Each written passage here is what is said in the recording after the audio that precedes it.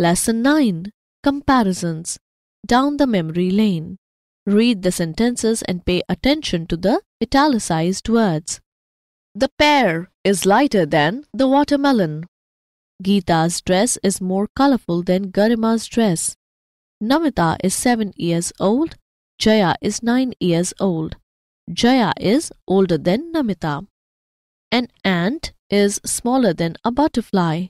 Dhruv is taller than Gagan. Icebreaker. These sentences show comparisons between two things or people. To show comparison between two things, places, persons, or animals, we use the ER form of the describing word. Sometimes we use more. We also use than. Examples An aeroplane is faster than a train. The snake is longer than the caterpillar. Rupa is more talented than Rupali.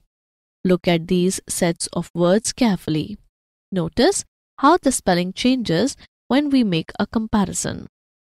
Dark, darker, soft, softer, thick, thicker, happy, happier, tasty, tastier, sleepy, sleepier.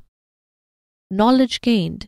When we compare two things, persons, places, or animals, we use the ER form of the describing word. We often use the word than in such cases. Sometimes we use more with the describing word.